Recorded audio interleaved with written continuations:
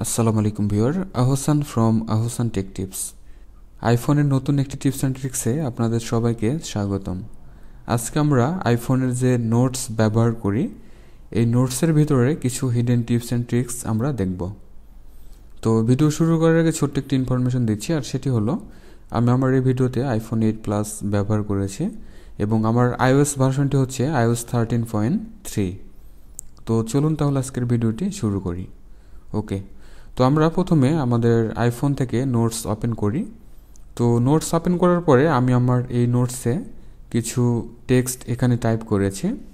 এখন আমরা যদি কোনো কিছু টাইপ করার পরে সাপোজ আমাদের একটু প্রিভিয়াস ওয়ার্ডগুলোতে যাওয়া দরকার, তাহলে আমরা আমাদের এই কিপ্যাড থেকে just space bar long press করব। তাহলে দেখুন আমরা ইচ্ছে মতো যে কোনো জায়গায় কিন্তু এই কারসরটি নিয়ে রাখতে পারব। এবং এই অবস্থায় আপনি যদি অন্য হাতের আঙ্গুল দিয়ে যদি আপনি ট্যাপ করেন, তাহলে দেখুন ওই জায়গায় সিলেক্ট হবে। এবং যদি ছেড়ে দেন, তাহলে সম্পূর্ণ টেক্সট এভাবে সিলেক্ট হবে। এখন এখান থেকে আবার যদি ট্যাপ করা হয়, তাহলে একটি অপশন আমরা পেয়ে যাচ্ছি। কাট করা দরকার হলে কাট করতে পারব, কপি পেস্ট। এই ধরনের অপশন কিন্তু আমরা এখানে দেখতে পাচ্ছি। এবং কোনো ওয়ার্ডের লাস্টে যদি আপনার কারসরটি থাকে, আপনি যদি এই ফাঁকা জায়গায় যদি ডবল ট্যাপ করেন, তাহলে ওই ওয়ার্ডটি সিলেক্ট হবে। এবং আপনি যদি তিনবার অ্যাট এ টাইম আপনি ট্যাপ করেন, তাহলে ফুল সেন্টেন্সটি সিলেক্টেড হবে। দেখুন, আমার ফুল সেন্টেন্স কিন্তু সিলেক্টেড হয়েছে।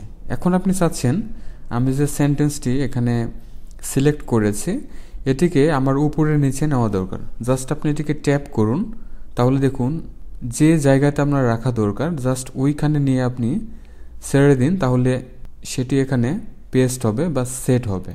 দেখুন, এখন হেডিং হিসেবে এটি সেট হয়েছে। এবং নোটসে আমরা যদি টেবিল নিয়ে কাজ করতে চাই, তাহলে এই পাশে একটি মেনুবার আমরা দেখতে পাচ্ছি। টেবিল আইকন আমরা দেখতে পাচ্ছি। টেবিল আইকন সেট করতে পারব এবং যদি কোনো কিছু স্ক্যান করা দরকার হয়, আমরা ক্যামেরা অপশন পাচ্ছি। এখান থেকে স্ক্যান করতে পারব।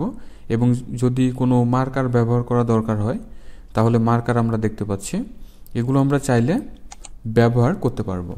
এবং আমরা আমাদের এই নোটসে যে ব্যাপারগুলো টাইপ করি না কেন, এগুলোকে আমরা শেয়ার দিতে পারব। শেয়ার দেওয়ার জন্য উপরে শেয়ার বাটন আমরা দেখতে পাচ্ছি। আমরা যেখানে শেয়ার দেওয়া দরকার, সেখানে আমরা শেয়ার দিতে পারব। এবং যদি প্রিন্ট আউট করা দরকার হয় প্রিন্ট আউট করতে পারব। এবং যদি কোনো ডিকশনারি সেট করা দরকার হয়, যেমন বেঙ্গলি ডিকশনারি আমরা দেখতে পাচ্ছি, এটা আমরা সেট করে নিতে পারব। আবার যদি আমাদের এই নোটপ্যাড থেকে বা নোটস থেকে কোনো কিছু ফাইন্ড আউট করা দরকার হয়, সেটা আমরা ফাইন্ড আউট করতে পারব। এবং যদি এটিকে পিন করে রাখা দরকার হয় পিন অপশন আমরা দেখতে পাচ্ছি।